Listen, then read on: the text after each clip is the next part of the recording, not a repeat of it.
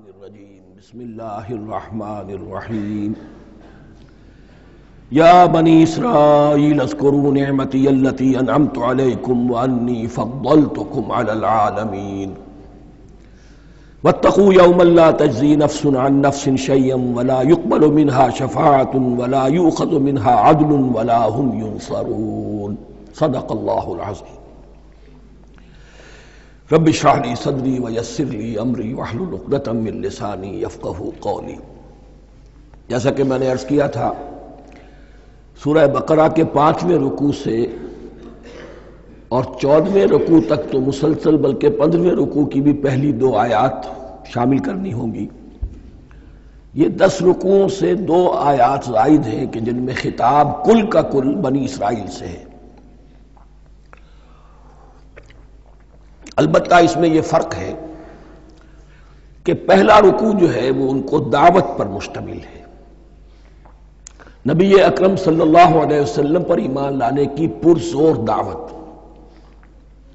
बकिया ये नौ रुकू जो है, ये उन पर फर्द करारदाद जुर्म है जो आयद की जा रही है। हमने तुम्हारे साथ ये एहसान व इकराम किया, तुम पर यह फजल किया, ये करम किया तुम्हें यह हैसियत दी, तुम्हें यह मकाम दिया। तुमने इस इस तौर से अपने इस मिशन की खिलाफ वर्जी की, अपने मकाम और मर्तबे को छोड़कर और दुनिया परस्ती इख्तियार की। ये जो नौ रुकू है, इनमें बनी इसराइल की तारीख का तो यूँ समझिए कि एक बहुत बड़ा हिस्सा और नुमाया उसके फीचर्स आएँगे। लेकिन ये समझ लीजिए कि असल में ये उम्मत मुस्लिमा को भी एक पेशगी तंबी है। कि कोई मुसलमान उम्मत जब बिगड़ती है तो ये ये चीज़ें उसमें आ जाती हैं। चुनाचे अहादीस मौजूद है हजूर की। अला उम्मती माता अला बनी इसराइल बिन्नाल मेरी उम्मत पर भी वो सब हालात वारिद होंगे जो बनी इसराइल पर आए। बिल्कुल ऐसे जैसे एक जूती दूसरी जूती से मुशाबे होती एक और हदीस में फरमाया लतब सुना मन कबल तुम लाजमन अपने से पहलों की पैरवी करोगे। और उसमें इस हद तक भी आपने वजाहत कर दी कि अगर वो सबक उम्मत मुस्लिमा, सबक उम्मत, अगर वो गोह के बिल में घुसी थी, तुम भी घुसोगे और अगर उनमें कोई बदबख्त ऐसा उठा जिसने अपनी माँ से जिना किया तो तुम में से भी कोई शकी ऐसा ज़रूर उठेगा जो ये हरकत करेगा। इस एतबार से इन रुकुओं को पढ़ते हुए ये न समझिए ये अगलों की दास्तान है, पिछलों की कहानियाँ हैं। नहीं। खुश बाशत के सिर दिल बरा गुफ्त आयत दर हदीस दीगरा। ये हमारे लिए एक आईना है। और हमें हर मरहले पर सोचना होगा। दरूबीनी करनी होगी। इंट्रोस्पेक्शन कि कहीं इसी गुमराही में हम मुबतला तो नहीं। देखते जाइएगा। दूसरा नुकता पहले से ये समझ लीजिए, ये जो दो आयतें मैंने छठे रुकू की तिलावत की हैं, बैन ही यही दो आयतें पंद्रहवें रुकू में आएँगी। और इसको यूँ समझिए कि दो ब्रैकेट्स हैं। नौ रुकुओं का मजमून इन दो ब्रैकेट्स के दरमियान है। ये दो आयतें यहाँ से ब्रैकेट शुरू हो रही है। वो दो आयतें उन पर ब्रैकेट खत्म हो रही है। बैन ही वही आयात। एक आयत में तो शोशे का भी फ़र्क नहीं। दूसरी आयत में सिर्फ़ तरतीब बदली है, मजमून वही है। इसके माबेन जो कुछ है, इससे बाहर, ये जो पांचवा रुकू था, इसके मजामी गोया के जर्ब खा रहे हैं ब्रैकेट के अंदर के सारे मजामी से। ये हिसाब का बहुत ही आम फहम सा कायदा है। ब्रैकेट के बाहर कोई रकम लिखी हुई है, जिसके बाद कोई जबर कोई जमा या तफरीक अगर नहीं है तो वो जर्ब खाएगी। ब्रैकेट के अंदर जितनी भी वैल्यूज़ हैं उनके साथ जर्ब खाएगी। तो गोया के हर हर कदम पर हुजूर पर दावत, ईमान लाने की दावत इस पूरे मामले में मौजूद है। इसलिए कि इसमें बाज आयतें ऐसी आ गई हैं। एक ज़्यादा नुमाया, एक कम नुमाया। जिनसे कुछ लोगों को भुगालता हुआ या कुछ लोगों ने फितना पैदा किया जानबूझकर। यह फितना एक बार पैदा हुआ था अकबर के जमाने में, दीन इलाही की शक्ल में। कि सिर्फ़ खुदा को मान लेना, आखरत को मान लेना और नेक अमाल करना निजात के लिए काफ़ी है। किसी रसूल पर ईमान लाना ज़रूरी नहीं है। ये सूफिया में भी ये फितना बहुत बड़े पैमाने पर आया। मस्जिद मंदिर हिकड़ो नूर, मस्जिद में और मंदिर में एक ही नूर है, सब मजाहिब एक ही है। सारा फ़र्क जो है शरीयतों का है, इबादत की जाहिरी शक्ल का है, वो है रसूलों से मुतालिक। रसूलों को बीच में से निकाल दीजिए तो ये दीन इलाही रह जाएगा, अल्लाह का दीन। इतना बड़ा फितना था कि जब हिंदुस्तान में सियासी एतबार से, हुकूमत के एतबार से मुसलमानों का इकतदार चोटी पर था, क्लाइमैक्स पर। अकबर आज़म,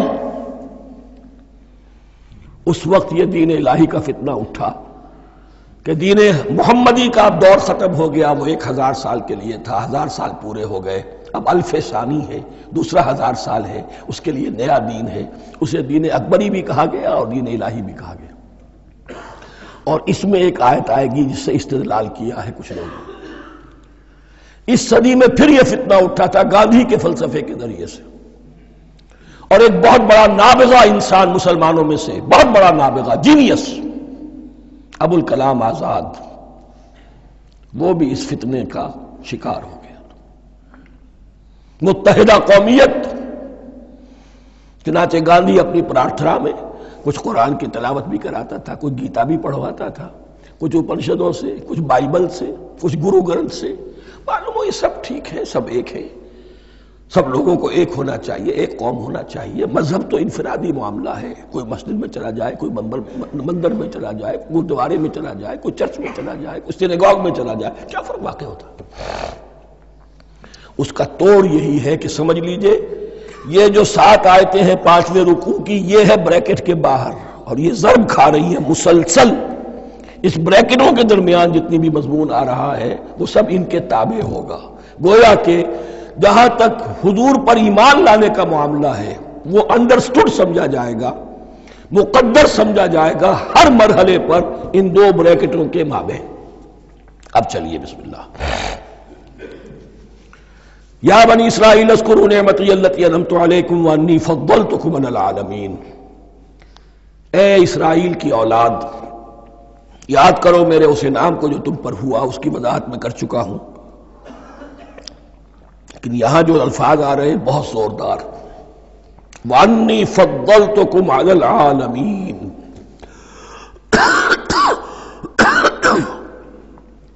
मैंने तुम्हें फजीलत अता की तमाम जहानों पर। यहाँ एक कायदा नोट कर लीजिए। अरबी नाफ का कायदा यह है कि कहीं जर्फ जिसमें कोई शय है, जर्फ की जमा ले लेते हैं, मुराद होता है मजरूफ, जर्फ के अंदर जो शय है उसकी जमा। तमाम जहानों पर फजीलत, क्या फरिश्तों पर भी फजीलत? नहीं। जहान वालों पर, तमाम अकवाम आलम पर तुम्हें फजीलत अता की। यह मतलब है इसका। तमाम आलमों पर, तमाम जहानों पर, यानी तमाम जहान वालों पर। इस इंसान आलम इंसानियत के अंदर जितने भी मुख्तलिफ़ ग्रोह हैं, नस्लें हैं, तबकात हैं, उनमें फजीलत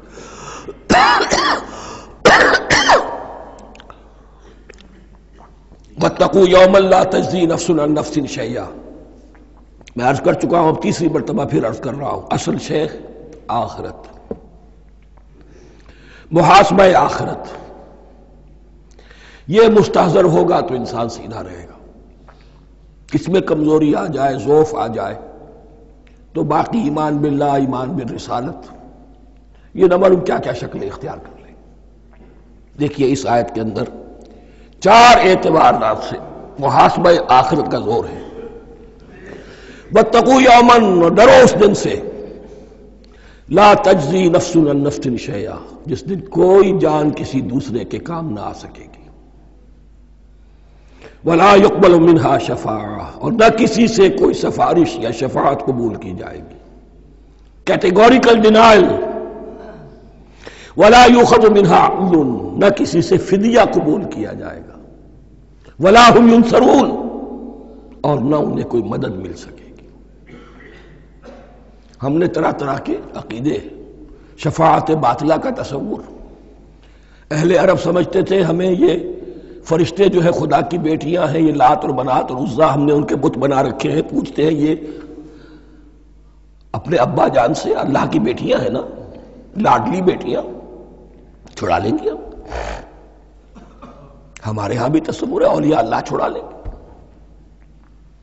या शफात बातला, खुद हुजूर की शफात के बारे में जो गलत तस्वुरात है। एक शफात हक्का है। उसकी वजाहत का ये मौका नहीं है। वो आयतुल कुर्सी पे जब हम पहुँचेंगे इन ताला, इसी सूरह मुबारक में तो उसकी वजाहत भी होगी। ये सारे जो हमने, जो घर रखे हैं ख्याल उनकी नफी इस आयत के हवाले से की। बतकुमन ला तजजी नफसुन नफसिन शया कोई इंसान, दूसरे इंसान के काम नहीं आ सकेगा। वला युकबल मिनहा शफातुन किसी जान की तरफ़ से कोई सिफारिश कबूल नहीं होगी। वला यू खद मिनहा अदल न कोई फिदिया कबूल किया जाएगा। वला सरून न उन्हें कोई मदद मिल सकेगी। अब इसके बाद अल्लाह ताला के एहसानात और इनकी तरफ़ से जो नाशुक्रियाँ हुई हैं, उनकी बड़ी तफसील के साथ अब बात चलेगी। तफसील नहीं, तेज़ी के साथ। ये वाकयात कई सौ बरस के हैं। लेकिन एक तो यह कि इनकी तफासिल मक्की सूरतों में आ गई हैं। सबसे ज़्यादा सूर्य आराफ में मिलेंगी। और भी कई सूरतों में आपको मिल जाएगी। यहाँ पर तो पे बपे जैसे कि एक करारदाद जुर्म किसी पर की जाती है तो उसमें सब गिनवाए जाते तुमने ये किया ये किया ये किया। वही नजाना को मिनाल फिर और जरा याद करो जबकि हमने तुम्हें निजात दी थी फिर की कौम से। यसुमून कुम सुअल आजाब वो तुम्हें बदतरीन अजाब में मुबतला किए हुए थे। युदबहून अबनाकुम व यस्ताहून निसाकुम तुम्हारे बेटों को जिबह कर डालते थे और तुम्हारी औरतों को ज़िंदा रखते थे। औरतें तो फिर उनके काम आती थी, घर में काम काज के। लौनियाँ बनती थी, घरों में डाल लेते थे।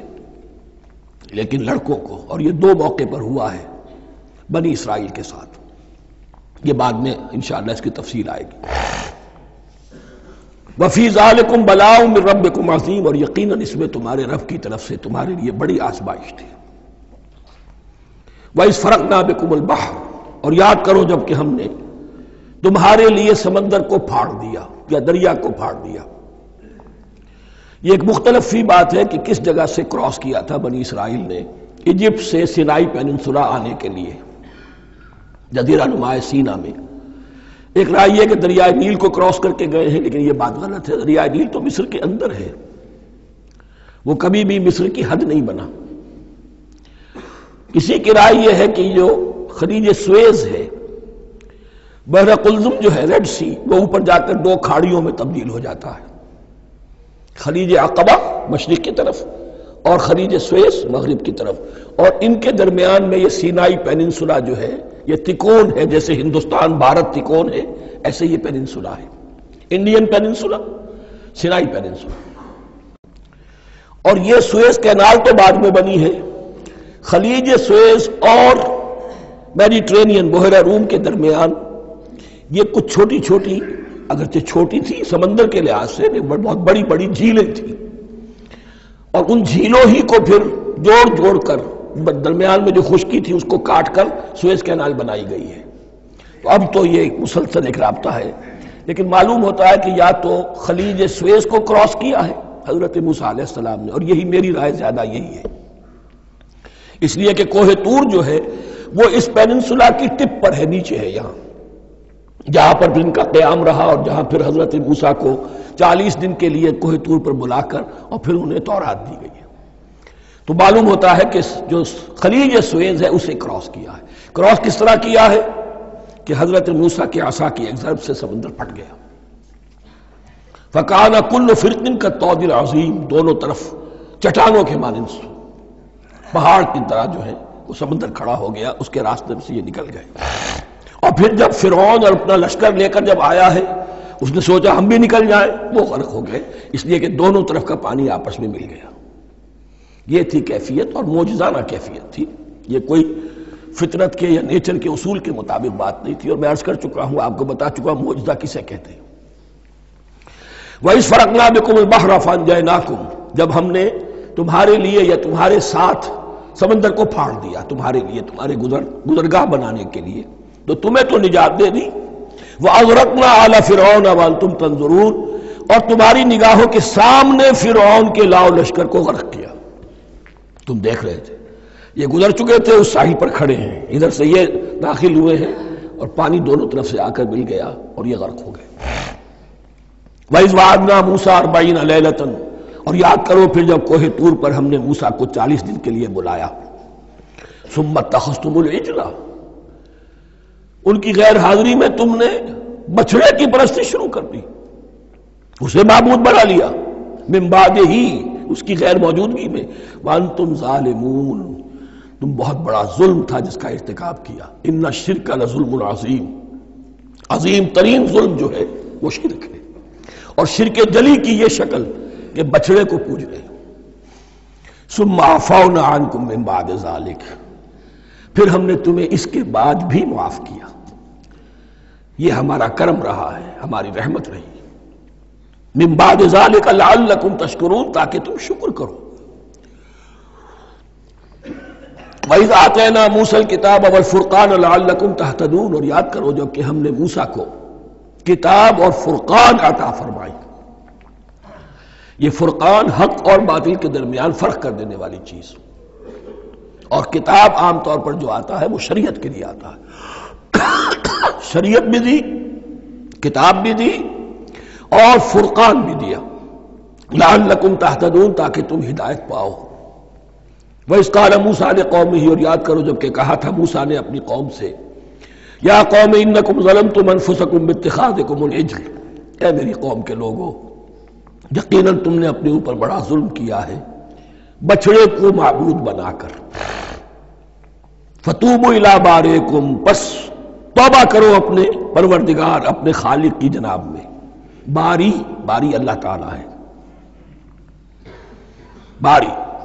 अनफुसल तो कत्ल करो अपने आप को। यह चीज़ जो है तौरात में तफसील से आई है, कुरान में नहीं है। इसी एतबार से मैंने आपको बताया था कि तौरात का मुताला इस एतबार से मुफीद है कि बहुत से वाकयात जिनका कुरान में ज़िक्र है इजमालन इशारा है। उसकी तफसील के लिए हमें तौरात से रुजू करना पड़ता है। वरना यह कि इस आयत का सही सही मफहूम वाजे नहीं होगा। फख्तलू अनफुसन अपने आप को कत्ल करो, क्या मानी? यह कत्ल मुर्तद की सजा है। वहाँ मालूम होता है कि हज़रत मूसा ने यह हुक्म दिया, बारह कबीले थे। हर कबीले में से कुछ लोगों ने यह कुफर और शिर किया, बाकी लोगों ने नहीं किया। उन्हें हुक्म दिया गया कि अपने कबीले के लोग उनको कत्ल करें जो उनके कबीले में से इस कुफर के मुर्तकब हुए। अल्फुसकुम से मुराद ये अपने कबीले के लोगों को तुम कत्ल करो। इसलिए कि कबायली ज़िंदगी जो होती है, आपको मालूम है, उसमें कोई और कबीला हाथ लगा दे तो कबायली असमियत भड़क उठेगी। सत्तर हज़ार यहूदी कत्ल हुए। इससे बड़ी तौबा और मुमकिन नहीं। इससे बड़ा पर्ज? किसी भी आइडियोलॉजिकल पार्टी के अंदर पर्ज बहुत ज़रूरी होता है। कुछ लोग आ गए एक नज़रिए को कबूल करके। रफ्ता रफ्ता, नज़रिया ओझल हो गया, कुछ मफादात, कुछ चौधराहटे। ये मुकदम हो गई। इसी से जमातें खराब होती हैं, गलत रास्ते पर पड़ जाती हैं, तहरीकें भटक जाती हैं। तो आइडियोलॉजिकल पार्टी नजरियाती जमातें पर्ज करती रहती हैं। कि जो भी हमारे नज़रिए से हट गए अब उनको हम काट कर अलहदा कर दे। और यही से कत्ल मुर्तद। तो ये चीज़ हदीस में है या फिर कुरान में यहाँ है? इस हवाले से जो लोग हमारे यहाँ बास ओलमा भी हैं, जदीद दानिश्वर हैं, जो कत्ल मुर्तद की जो हद है इस्लाम में, उसको तस्लीम नहीं करते। लेकिन मेरे नज़दीक ये शरीयत मूसवी का तसलसल है। कि शरीयत मूसवी की जिस शय को बदला ना गया हो, जिसके बारे में सराहतन ये मालूम ना हो कि यह शय तब्दील कर दी गई तो वो शरीयत मोहम्मदी का जुज बन गई। जिना पर रजम का मामला भी यही है। कुरान मजीद में रजम की सही आयत कोई मौजूद नहीं है, हदीस में है। कुरान मजीद में मुर्तद के कत्ल के लिए कोई आयत मौजूद नहीं है, हदीस में है, सुन्नत में है। और दोनों की का जो मंबा है वह असल में तौरात है। तो इस बात को अच्छी तरह नकल कर लीजिए। ये जगह अक्सर लोग जो है यहाँ बहुत सरसरी तौर से गुजर जाते हैं। ये बहुत अहम है। और इसके लिए तोराज की तरफ़ रुजू कीजिए। सत्तर हज़ार छह लाख कुल थे। जब ये मिस्र से निकले हैं, छह लाख थे। कितने अरसे के बाद पेनिनसुला पहुँचे हैं सिनाई पेनिनसुला में और, और तूर में कुछ और उनकी तादाद बढ़ गई होगी। लेकिन यह कि उनमें से सत्तर लाख को कत्ल किया अपने हाथों से। हर कबीले ने अपने जो मुर्तद थे उनको अपने हाथ से कबल किया कत्ल किया। फतूबू इला बारेकुम फकलू अनफुसकुम जालिकुम खैरुल्लकुम इंदा बारेकुम। यही तुम्हारे लिए तुम्हारे रब के नज़दीक बेहतर बात है।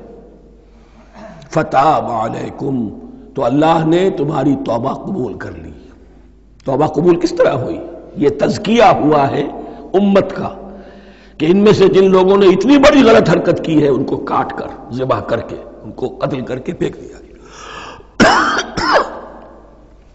इन नहू हुआ तवाबुर रहीम यकीन वो तो है ही, बहुत तौबा का कबूल फरमाने वाला और बहुत रहम फरमाने वाला। भाई तुम या मूसा जहरतन एक और वाक्य उनकी तारीख का। और याद करो, जबकि तुमने कहा था मूसा, हम तो तुम्हारी बात नहीं मानेंगे। ईमान के बाद जब लाम का हर्फ आए तो उसके मानी सिर्फ़ तस्दीक के होते हैं। लन्नू में ना लका हम आपकी बात की तस्दीक नहीं करेंगे। हत्ता नर अल्लाह जहरतन जब तक कि हम देख न ले अल्लाह को आयानन। हमें क्या पता? अल्लाह ने ये किताब दी आपको, आप तो लेकर आ गए। हमारे सामने तो पत्थर की कुछ तख्तियाँ हैं, उस पर कुछ लिखा हुआ, किसने लिखा? हमें क्या पता?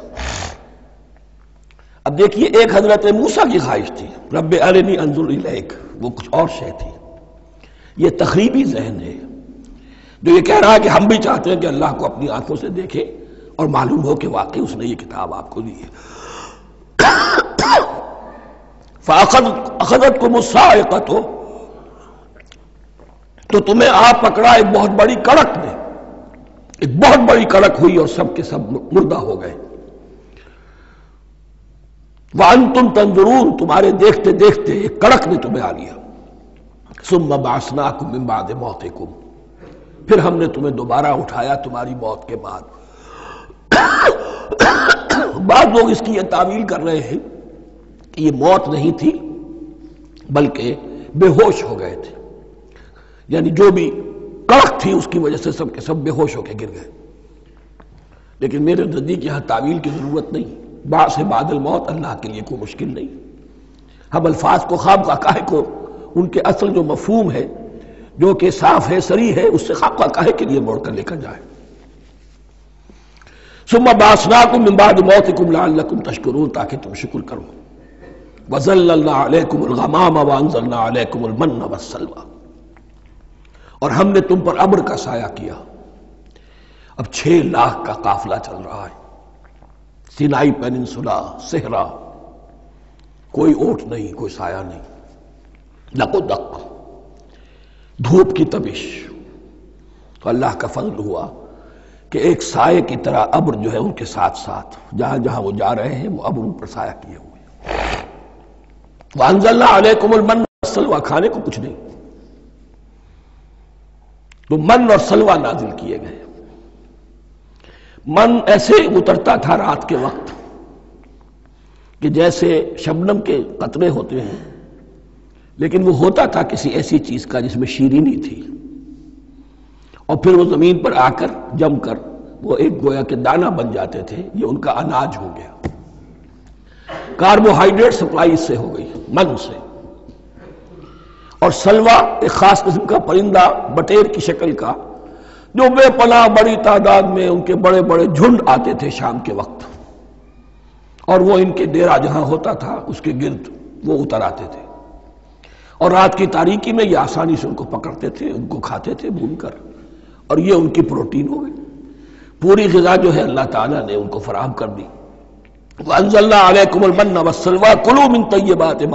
को खाओ उन पाकिजा चीज़ों को जो हमने तुम्हें अता की है। वह सलमूना हमने तो उन पर कोई जुर्म नहीं किया। वलाकिन कानू अनफुसहम लेकिन वो खुद ही अपने ऊपर जुर्म ढाते रहे। हर कदम पर नाफरमानी और नाशुक्री। इसकी भी नाशुक्री आगे आ जाएगी, चलकर मनो सलवा से भी नाशुक्री की उन्होंने। वाइसकुल्लुल हादिल करियत फकुलू मिनहा है सुशेतुम रगदम वदखुल बाब सुजदम और याद करो जबकि हमने तुमसे कहा था इस शहर में दाखिल हो जाओ और फिर खाओ उसमें से बाफरागत जहाँ से चाहो जो चाहो लेकिन देखना दरवाजे में दाखिल होना झुक कर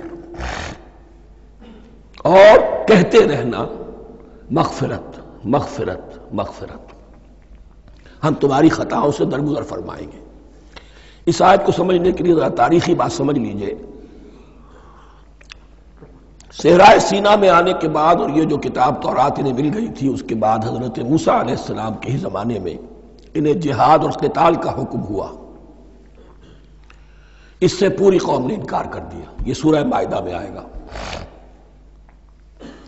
उस पर अल्लाह ताला ने एक सदा मुसलत कर दी इन पर कि 40 बरस तक इसी सेहरा में भटकते फिरेंगे।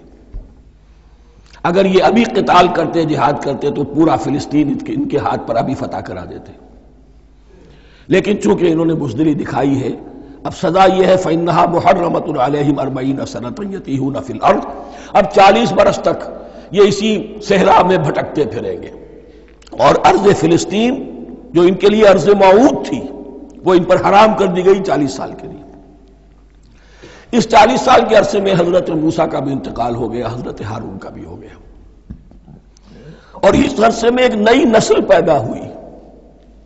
वो जो गुलामी का दाग उठाए हुई नस्ल आई थी मिस्र से, जिनके अंदर मॉरल कैरेक्टर जो है, वो बहुत कमज़ोर हो जाता है। गुलामी का ये असर होता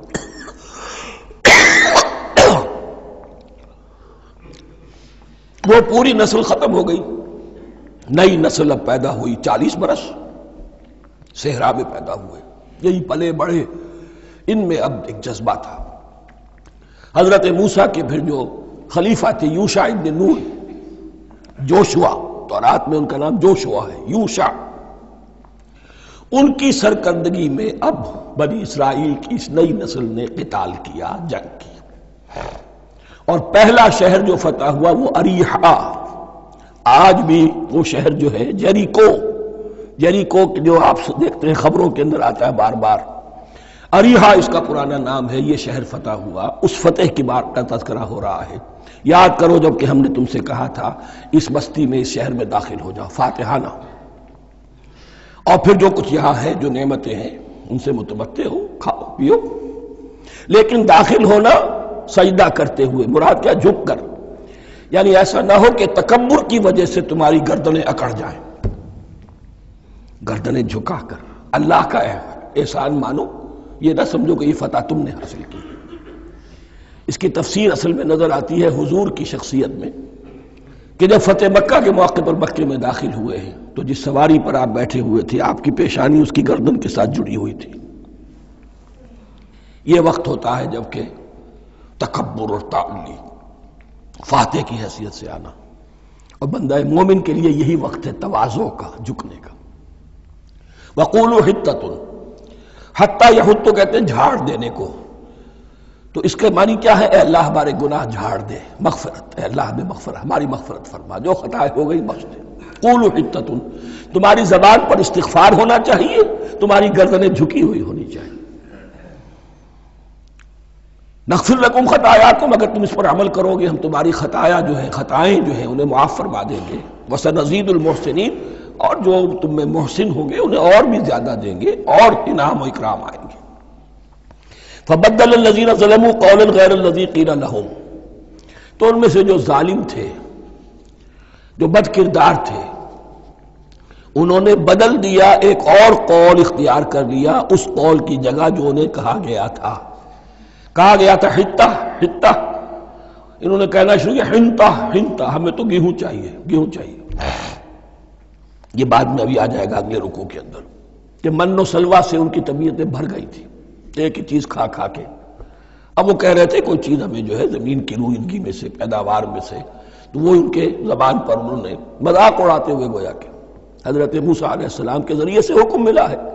इस्तेजा कर रहे हैं हित्ता उनकी बजाय इन तत्व बिमा कानू यफसकून तो जिन लोगों ने ये हरकत की थी उन पर हमने आसमान से एक बहुत बड़ा अजाब नाजिल किया तो रात से मालूम होता है कि प्लेग आई और जिन्होंने यह हरकत की थी वो सब के सब हलाक हो गए यरूको जरीको के अंदर बेमा कानू या सुकून बसबब उस नाफरमानी के जो उन्होंने की वैज तस्का मूसा कौम ही फ़कुल नज़र हजर। अब ये फिर से सीरा का वाकयात आ रहे हैं। इनमें तरतीब जमानी नहीं है। और यहाँ की फतह जो है हज़रत मूसा के बाद है। लेकिन अब यहाँ पे फिर अभी वो जो सेहराय ती में जब भटक रहे थे, फिर उसका ज़िक्र है। वैज तस्का मूसा कौम ही फ़कुल नज़र बेसा कल हजर और जबकि मूसा की कौम से, ने मूसा से पानी तलब किया। अब सेहरा में आपको मालूम है, जहाँ पड़ाव था, अब वहाँ पानी नहीं छह लाख हो, सात लाख हो, कितने अफराद हो, पानी चाहिए।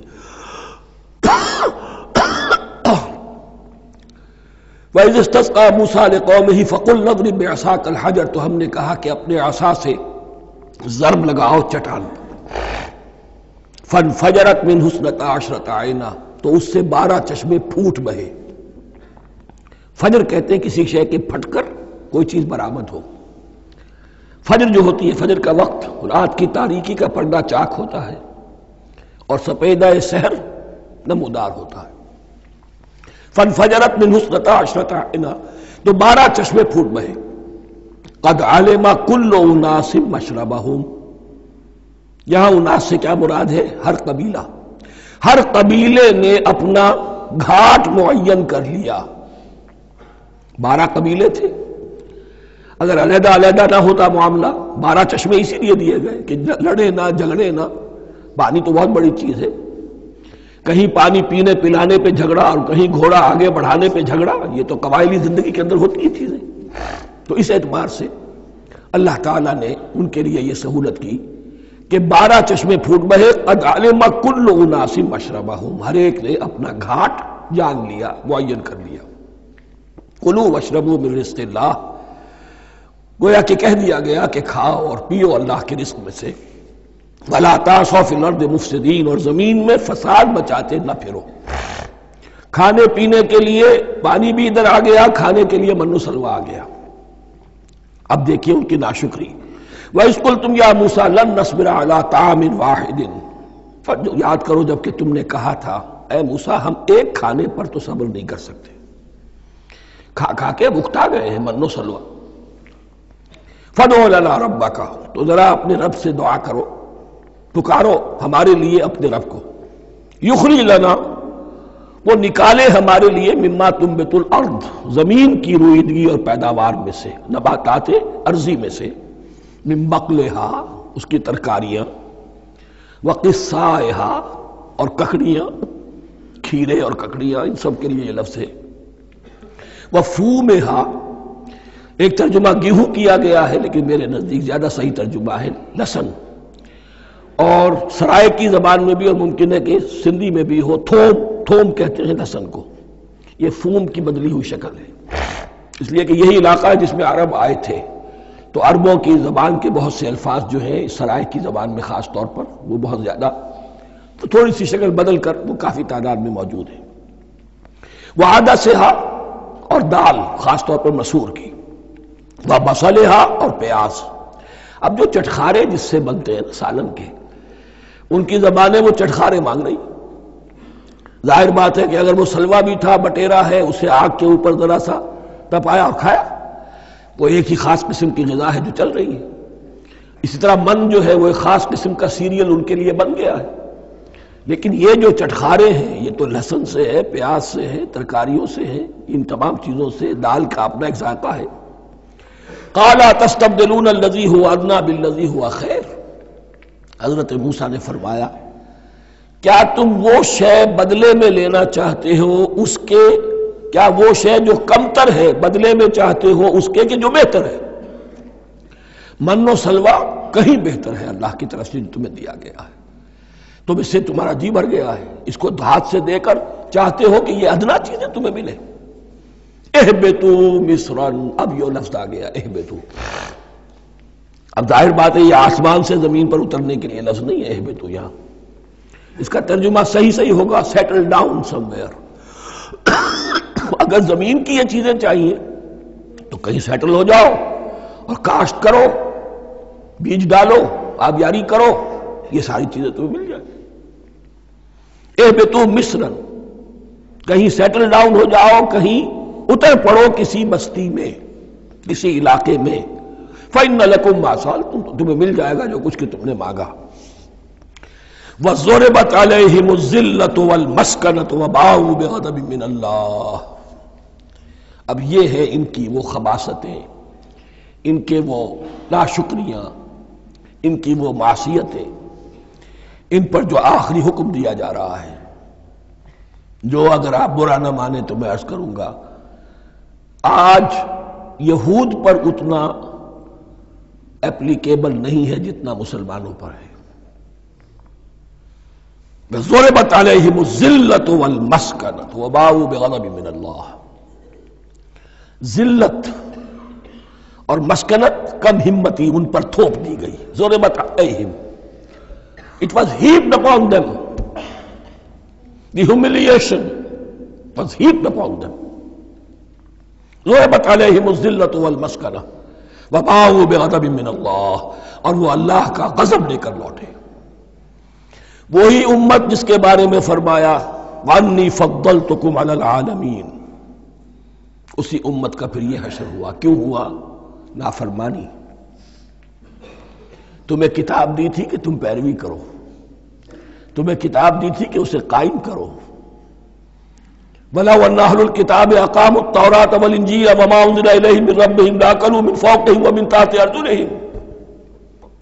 अगर ये तौरात और इंजील को कायम करते, नाफिज करते तो नेमतें ज़मीन भी उगलती, उनके कदमों के नीचे से नेमतें जो है वो फूटती।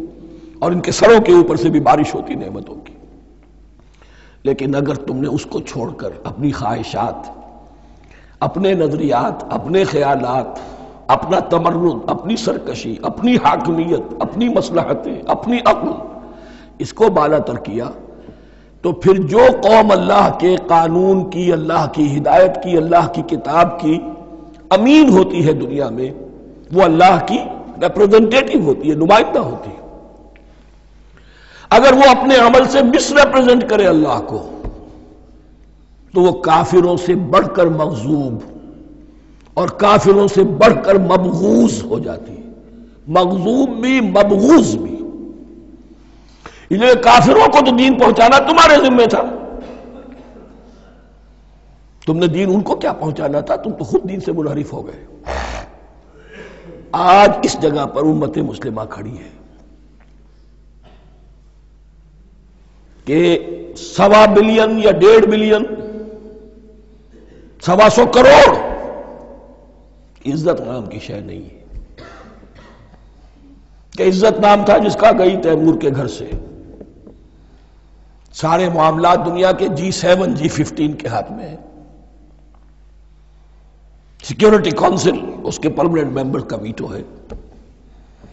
और ना सिक्योरिटी काउंसिल में और ना कहीं किसी जी सेवन में, ना जी नाइन में, ना जी फिफ्टीन में कोई मुसलमान मुल्क नहीं। कसनमी पुरसत की भैया किस थी हमारी अपनी पॉलिसीज़ कहीं और तय होती हैं। हमारे अपने बजट कहीं और बनते हैं। हमारी सुलह और जंग किसी और के इशारे से होती है। ए रिमोट कंट्रोल ये जिल्लत और मस्कनत। हम कहते हैं, हमारी शहरक है कश्मीर। और जंग करने को तैयार नहीं है। ये खौफ नहीं तो क्या है? ये मस्कनत नहीं तो क्या है? अगर अल्लाह पर यकीन हो और अपने हक पर यकीन हो तो अगर शहर दूसरे के कब्जे में है तो हिम्मत करो, या तख्त या तख्ता। लेकिन नहीं। आपके रेडियो पर, टेलीविज़न पर खबरें आती रहे कि इतने मुसलमानों के साथ ये कर दिया, इतनी मुसलमान औरतों की बेहरमती कर दी। लेकिन यहाँ हम बैठे हुए अपने अपने धंधों में अपने अपने कारोबार में अपनी अपनी मुलाजमतों में अपने अपने कैरियर्स में। दुनिया में क्या कुछ हो रहा है? बहरहाल इस वक्त ये जो है, मैंने जैसा कि अर्ज़ किया था कि यह है तारीख बनी इसराइल की। लेकिन खुशतरा बाशद के सिर दिल बरा, गुफ्त आयत दर हदीस दीगरा। ये हमारा नक्शा है आज इस आयत में। ज़ोर मस्कनत और ये क्यों? जाल कब कानू यकफरू न बे ये इसलिए कि वह अल्लाह की आयात का इनकार करते रहे। वह यकतलून नबी न बेगैर हक। अल्लाह के नबियों को ना हक कतल करते रहे। हमारे यहाँ भी मुजद्दीन उम्मत में से कितने हैं जो जेलों में डाले गए? जिनको ऐसी ऐसी मार पड़ी है कि कहा जाता है कि हाथी को भी वो मार पड़ती तो बर्दाश्त न कर। अहमद इब्ने हम्बल के साथ क्या हुआ? अबू हनीफा जेल में इंतकाल किया। इमाम मालिक के कंधे खींच दिए गए, उतार दिए गए। मुँह काला करके और ऊँट पर बिठाकर फिराया गया। इमाम दार हिजरा, शेख अहमद सरहंदी जेल में रहे। सैयद अहमद बरेलवी और उनके साथियों को खुद मुसलमानों ने तहे तेग किया है। बहरहाल ये दास्तानें हैं। अब नबी तो कोई नहीं आएगा। उनके यहाँ नबी थे। हमारे यहाँ मुजद्दीन है, उलमाए हक है। जैसे कि हदीस भी है उलमा उम्मती का अम्बिया बनी इसराइल। तो जो उन्होंने अंबिया के साथ किया, हमने मुजद्दीन और उलमा के साथ किया। जाल व कानू यातदून। और यह हुआ उनकी नाफरमानियों की वजह से और हद से तजावुज करने की वजह से। अल्लाह ताला तो जालिम नहीं अल्लाह ने तो ऊँचा मकाम दिया था। हमें भी खैर उम्मत करार दिया। कुन तुम खैर उम्मत खुरजत लिन्नास। तामरून बिल मारूफ मुनकर व तुमिनून बिल्ला अब अगर हमने वो अपना मिशन छोड़ दिया तो जिल्लत और मस्कनत वो हमारा मुकद्दर बन गया। अल्लाह का कानून और अल्लाह का आदल बेलाग है। वो फ्रॉम उम्मा टू उम्मा चेंज नहीं होता। सुन्नतुल्लाह जो है, लन तजद सुन्नत तहवीला व लन तजद सुन्नत तब्दीला। अल्लाह की सुन्नत बदलती नहीं। बनी इसराइल का जो हशर हुआ, आज वो हमारा हो रहा है। बहरहाल इस पर मेरी जो किताब है, सबक और मौजूदा मुसलमान उम्मतों का माजी हाल और मुस्तबिल उसका मुताला कीजिए। अब आ गई वो आयत के जिससे इस्तलाल किया गया है। कि ईमान बिन रिसालत निजात के लिए ज़रूरी नहीं है। इन लजीन आमनु वल्लजीन हादू व नसारा व साबीन मन आमन बिल्लाह वल आखिर वामिल सालिहन फलहुम अजरुहुम इन रब्बिहिम वला खौफुन अलैहिम वला हुम यहज़नून। यकीनन जो लोग ईमान लाए और इससे मुराद है जो ईमान लाए हुजूर पर, मोहम्मद पर सल्लल्लाहु अलैहि वसल्लम। वल्लजीन हादू और जो यहूदी हो गए व नसारा और नसरानी वह साबेन और साबी वो लोग थे, इराक के इलाके में रहते थे, जो कहते थे कि हम दीन इब्राहिमी पर हैं। लेकिन उनके यहाँ भी बहुत कुछ बिगड़ गया था, जैसे हज़रत इब्राहिम की नस्ल, हज़रत इस्माइल की नस्ल बिगड़ गई थी तो इस तरह वो भी बिगड़ गए थे, सितारा परस्ती ज़्यादातर उनके यहाँ थी।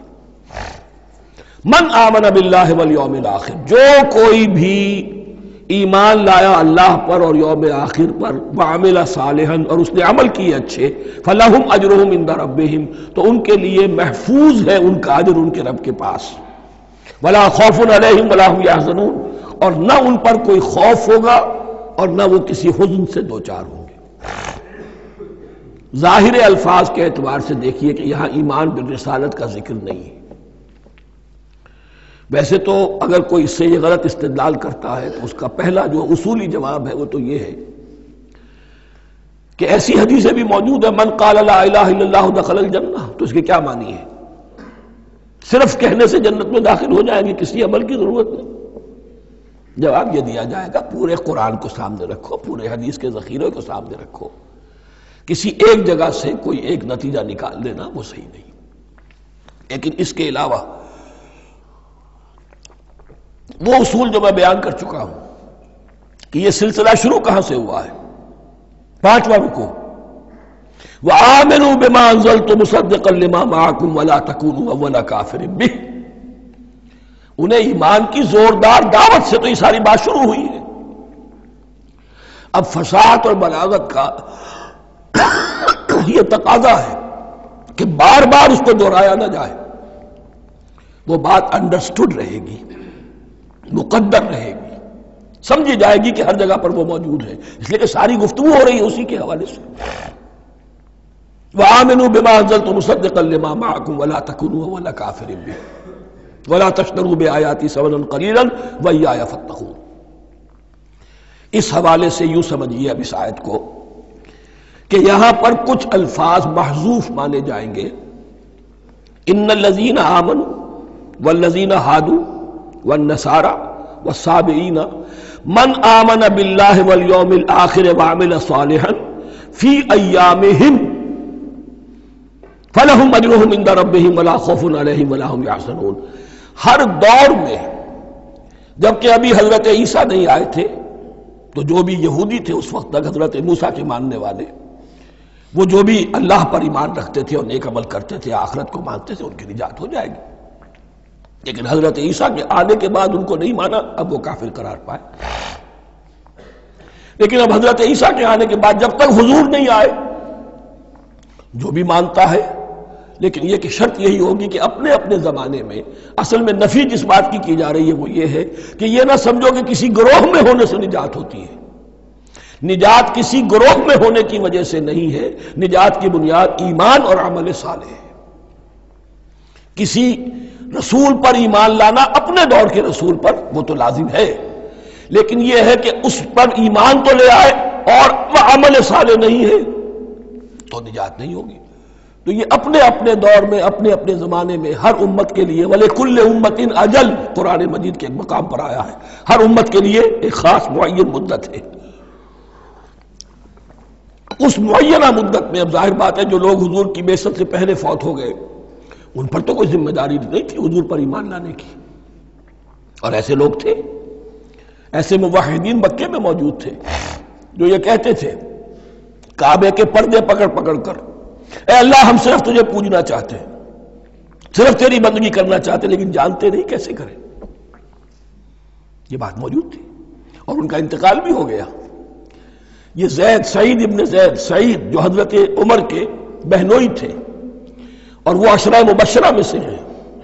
उनकी अहलिया हज़रत फातमा बिनत खत्ताब, इन दोनों के ईमान को अल्लाह ने ज़रिया बनाया हज़रत उमर के ईमान का। और ये वालिद थे सईद के जैद, वो ये कहते हुए दुनिया से चले गए, हुजूर की अभी बेसती नहीं हुई थी। अल्लाह मैं सिर्फ़ तेरी बंदगी करना चाहता हूँ, कैसे करूँ? ये नहीं जानता। इसी को जहन में रखिए एक दिन सिरात मुस्तकीम जो मैंने कहा था। एक सलीम फितरत इंसान सलीम अक्ल इंसान तोहहीद तक पहुँच जाता है, आखरत को पहचान लेता है। लेकिन अब क्या करूँ?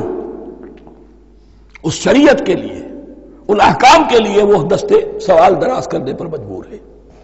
अल्हम्दुलिल्लाह रब्बिल आलमीन, अर्रहमानिर रहीम, मालिक यौमिद्दीन इय्याक नअबुदु व इय्याक नस्तईन इहदिनस सिरातल मुस्तकीम। उसी सिरातल मुस्तकीम की दुआ का यह जवाब अब आएगा, शुरू होगा। सूरह बकरा से, ये करो, ये ना करो। ये फ़र्ज़ है, ये तुम पर लाजिम किया गया, ये चीज़ हराम की गई, वगैरह वगैरह। इन लदीन आमन वल्लदीन हादू व नसारा वसाबीन मन आमन बिल्लाह वल यौमिल आखिर व आमिल सालिहन और महजूफ अल्फाज, फ़ी अजमिनत हिम अपने अपने जमाने में, या फ़ी अयाम हिम फलाहम अजरहम इन दरबिम वला वलाहम याहसनून वही जखजना मीसाकुम व रफाना फ़ौकुम तूर और जरा याद करो जबकि हमने तुमसे अहद लिया, कौलो करार लिया और तुम्हारे ऊपर उठा दिया तूर को, पहाड़ को। जब तौरात दी गई तो उस वक्त एक कैफियत मौजदाना तौर पर ऐसी पैदा की गई। इनके ऊपर एक रोब डालने के लिए और खशियत कल में पैदा करने के लिए कोहे तूर उठाकर मोरलक कर दिया गया। उस वक्त कहा गया, खुजू मात नाकुम बेकुतिन तो उस कौलो करार के वक्त एक मोजे की शक्ल ये हुई थी। भाई दखलना मिसाकुम रफाना फ़ौकुम तूर खुजू माते नाकुम बेकुतिन मस्कुरू माफ़ी है लाल नकुम तत्तखून। पकड़ो इसको मजबूती के साथ जो हमने तुम्हें दिया है, इस हदीस, इस किताब को, तौरात को, इस शरीयत को इन अहकाम को। मस्कुरू माफ़ी और याद रखो उसे जो कुछ केस में है। लाल नकुम तत्तखून, ताकि तुम बच सको। सुम्मत तुम्हें बाद फिर तुमने रूगरदानी की इसके बाद। उस मिसाक को तोड़ा। मिसाक अलस्त को तोड़ा था। और दूसरे ये मिसाक शरीयत जो तुमसे लिया गया, उसको भी तोड़ा। सुम्मत अवल्ल तुम इबाद फलौला फजल्लाकुम फिर अगर अल्लाह का फजल तुम्हारे शामिल हाल न होता, और उसकी रहमत तुम्हारी दस्तगिरी न करती रहती। बार बार तुम्हें मुआफ किया, तुम्हें मोहलत दी। तो अगर ये चीज़ ना होती तो उसी वक्त से तुम खिसारा पाने वाले और तबाह होने वाले हो जाते। वलकद आलिम तुम लजीन आकदाओ मिनकुम फिर सब तो तुम्हें खूब मालूम है, तुम में से वो लोग जिन्होंने शब्द के कानून को तोड़ा, हद से तजावुज किया। यह वाकया तफसील के साथ सूर्य आराफ में आएगा कि उनकी शरीयत में हफ़्ते का रोज मुन कर दिया गया था, कोई दुनियावी काम नहीं होगा। आज भी वो लोग जो है सबको जो भी प्रैक्टिसिंग ज्यूज हैं, वो उसकी पाबंदी करते हैं और बड़ी शिद्दत से करते हैं। लेकिन एक जमाने में एक खास उनका कबीला था कि जिसने एक बड़े ही शरी हीला ईजाद करके उस कानून की धज्जियाँ बखेरी। तो तफसील हम पढ़ेंगे सूर्य आराफ में। वलकद अलिम तुम तदाओ मिनकुम फिर सब तो तुम्हारे इल्म में है, तुम्हारे वो लोग कि जिन्होंने शब्द के कानून के जिमन में खिलाफ वर्जी की, फ़कुलना लहम कून किरादतन खासीन तो हमने कह दिया उनको कि हो जाओ, जलील बंदर। उनकी शक्लें बस कर दी गई, उन्हें बंदरों की शक्ल में तब्दील कर दिया गया। फजालनाहा नकाल बैन यदैहा फिर हमने इस वाक्य को या उस बस्ती को एक बना दिया मिसाल लोगों के लिए उनकी इबरत के सामान बना दिया। उनके लिए भी जो सामने मौजूद थे उस जमाने के लोग और उनके लिए भी जो बाद में आने वाले थे। वह मोज़तलमुत्तकीन और इसे एक नसीहत, एक सबक आमोजी की बात बना दिया अहल तकवा के लिए। वस्कार मूसा ने कौम ही यामुरकुम अंतस बहु बकरा। और याद करो जबकि मूसा ने अपनी कौम से कहा, यकीनन अल्लाह तुम्हें हुक्म देता है कि गाय को जिबा करो। ये वाकया मैं पहले आपको बता दूँ, फिर हम ये आयात तेज़ी से पढ़ लेंगे। बनी इसराइल में एक शख्स कत्ल हो गया, आमिल दामी। और कातिल का पता नहीं चल रहा था। अल्लाह ताला ने हज़रत मूसा के ज़रिए से हुक्म दिया कि गाय को जिबा करो, और उसके जिस्म के एक टुकड़े से इस मुर्दे का को छुओ, वो जी उठेगा, और वो बता देगा मेरा कातिल कौन है। अब यह कि ये मोजात की शक्ल है जो बार बार आ रहे हैं और सबक इस उम्मत के अंदर मोजात का आपको बहुत अमल दखल मिलेगा। इसमें एक तो यह कि गाय को जिबा करना, वो गाय के तकदस का जो उनके दिल में जहन में था तो जिबा करने से उसके ऊपर भी गोया कि एक तलवार चलाई गई। और फिर उन्हें दिखा भी दिया गया कि एक आदमी ज़िंदा भी हो सकता है बासे बादल मौत का भी एक नक्शा दिखा दिया गया उन्हें। लेकिन इन्हें जब यह हुक्म मिला और उनके दिलों के अंदर वो बछड़े की और गाय की तकदीस जो है वो पिली हुई थी, अब इन्होंने सवाल करके किसी तरीके से बचने के लिए मीन बेख निकाली, कैसी गाय हो, क्या रंग हो, किस तरह की हो, किस उम्र की हो बिल आखिर ये कि जब हर तरफ़ से घेराव उनका हो गया और सब चीज़ें जो है उनके सामने वाजे कर दी गई, तब उन्होंने यूँ समझिए चारों नाचार बादिल ना खास्ता उस हुक्म पर अमल किया। बस अब तर्जुमा कर लीजिए। वस्तारा मूसा ने कौम ही इन अल्लाह मुरकमन तस्बहू बकरा। और याद करो, जबकि मूसा ने कहा अपनी कौम से कि अल्लाह हुक्म देता है, तुम्हें कि गाय को जिबा करो। कालू तखना हो उन्होंने कहा क्या आप हमारे साथ कोई ठट्ठा कर रहे मज़ाक उड़ा रहे ये क्या बात आप कह रहे हैं? फरमाया, मैं अल्लाह की पनाह तलब करता हूँ इससे कि मैं जाहिलों में से हो जाऊँ, कि मैं इन दीन के मामला के अंदर इस्तेजा और तमस्कुर को शामिल कर दूँ। कारूदोलना रब का युबैना ना ही। अब उन्होंने कहा अच्छा ऐसी बात है। तो जरा अपने रब से दुआ कीजिए कि वो हम पर बाजे कर दे कि वो कैसी हो। काला नहू यकूल, हज़रत मूसा ने फरमाया, अल्लाह ताला फरमाता है इन्हा बकरतुल्ला वला बिक्र। वो एक ऐसी गाय होनी चाहिए कि जो ना बूढ़ी हो, ना बिल्कुल बछिया हो। अवान बैन जालिक। इनके बैन बैन हो। फफलू मातू मरून तो अब कर गुजरो, जो तुम्हें हुक्म दिया गया। कालूदोलना रब का युबैना मालौनहा अब उन्होंने फिर कहा, जरा एक दफ़ा और दुआ कीजिए अपने रब से वो हमें बता दे उसका रंग कैसा होना चाहिए। काला इन यकूल बकरत सफरा फाकहा तसर नादरीन। फरमाया, अल्लाह फरमाता है कि वो गाय ऐसी होनी चाहिए, जर्द रंग, शोख रंग। शोख जर्द रंग की चमकीली। जो देखने वालों को खूब अच्छी लगे, पसंद आए। दिल में खूब जाने वाली। अब जो ज़्यादा से ज़्यादा उनके यहाँ मुकदस समझे जाते थे गाय रफ्ता रफ्ता सवाल करके अगर पहले ही हुक्म पर वो कर देते तो किसी भी गाय को जबा कर देते। लेकिन यहाँ घिराव उनका हो रहा है कि जिसकी तकदस का उनके जहन में ज़्यादा से ज़्यादा तासुर है, उसी को वाजे किया जाए। कानूदोलना रब का युबैलना माहिया, फिर उन्होंने कहा, जरा फिर जरा। अल्लाह से दुआ कीजिए। और वो हमें यह बताए कि वो कैसी हो। इन बकरा तशाबा लेना यकीन हम कुछ शुबे में पड़ गए हैं। ये गाय का मामला मुश्तबा हो गया है हम पर।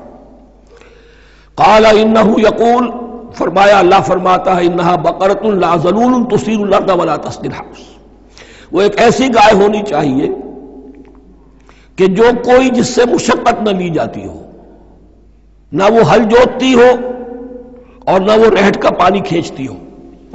तसीर न तो वो ज़मीन को जोतने में, हल चलाने में काम में ली जाए, वला तस्मिर और न खेती को पानी पिलाने के लिए वो पानी खींचने में इस्तेमाल किया जाए। मुसलमतुन और पूरी सालिम होनी चाहिए यक रंग लाशिया तफिया उसमें किसी दूसरे रंग का कोई दाग तक ना हो। अब क्या करते, घेराव में आ गए। कालुलाना जे तबिल हक कहा उन्होंने कि ठीक है, अब तो आपने बात जो है पूरी तरीके से वाजे कर दी।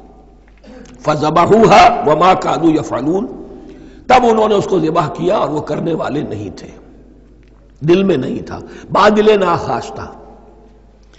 अब देखिए, यहाँ तरतीब दरा वाक़े की जो है, मुख्तलिफ़ हो गई है। जो इस जिब बकरा का सबब था, वो बाद में बयान हो रहा है तो रात में चूँकि वाकयात को उस तरीके से बयान किया है, लिहाजा वह तरतीब दूसरी है।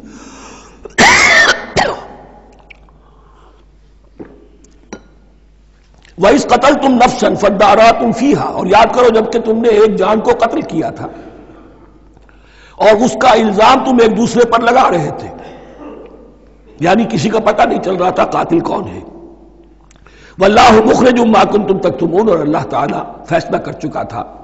कि जो कुछ तुम छुपा रहे हो, उसे निकाल कर रहेगा, वाजे करेगा। फकुल लद रेबूहो बेबाज हा तो हमने हुक्म दिया कि उसकी लाश को उस गाय के एक टुकड़े से, उसके जिस्म के एक हिस्से से दर्द लगाओ। कजाल का योहिल्लाहुल मौता। और देखो, इस तरीके से अल्लाह मुर्दों को ज़िंदा कर देगा। थोड़ी देर के लिए वो ज़िंदा हुआ और उसने अपने कातिल का नाम बता दिया। कुम आयात ही ताकिलून। और वो तुम्हें दिखाता है अपनी आयात ताकि तुम अक्ल से काम लो अब जो अल्फाज आ रहे हैं, बहुत सख्त हैं, बहुत सख्त है। लेकिन इनको पढ़ते हुए दरूबीनी ज़रूर कीजिएगा, अपने अंदर झांकीएगा। सुम्मा कसत कोलूबकुम, फिर तुम्हारे दिल सख्त हो गए। जब दीन में हीले बहाने निकाले जाने लगे और हीलो बहानों के ज़रिए से शरीयत के अहकाम से बचा जाए। अल्लाह को धोखा देने की कोशिश की जाए। उसका जो नतीजा निकलता है वो दिल की सख्ती है। सुम्मा कसत कुम फिर तुम्हारे दिल सख्त हो गए। फहिया कल हिजारत या वशद कसवा। तो वो तो अब पत्थरों के मानिंद हैं, बल्कि सख्ती में उनसे भी ज़्यादा शदीद है। ये वैसे भी फसाहत और बलागत का भी बड़ा एक उमदा मकाम है कुरान का। इन नमिन हिजारत लमाए तफजर पत्थरों में से तो ऐसे भी होते हैं, जिनमें से चश्मे फूट बहते हैं। इन नमिनहा लमा शक को फयखर जो और ऐसे भी है जो शक हो जाते हैं पत्थर चटाने, उनमें से पानी बरामद हो जाता है। वह नमिनहा लमा यह में तुमिन खशियत और उनमें वो भी होते हैं जो अल्लाह के खौफ से गिर पड़ते हैं। तामलून। और अल्लाह ताला गाफिल नहीं है उससे कि जो तुम कर रहे हो। ये कैफियत जो है, सुम्मा कसत कोलूब को फहियकल हिजारत वशद कसवा। है कौन? या बनी इसराइल नम तो अलैकुम वानी फल तो कुम आलमी जिन पर चौदह सौ बरस ऐसे गुजरे कि कोई लम्हा ऐसा ना था कि नबी मौजूद ना हो। जिन्हें तीन किताबें दी गई। लेकिन यह कि अपनी बदामली, अकायद में भी मीन बेख करके अपने आप को बचाने के रास्ते निकाल लेना, आमाल में भी हीलों के ज़रिए से, किताबुल हियल के ज़रिए से अपने आप को जिम्मेदारियों से मुबर्रा कर लेना, उसका नतीजा फिर यह निकलता है, अल्लाह ताला मुझे और आपको इस अंजाम बद से बजाए बारक अल्लाह वलकुम फिल कुरान अजीम व नफ़ानी व ईयाकुम बिल आयात व ज़िक्र हकीम।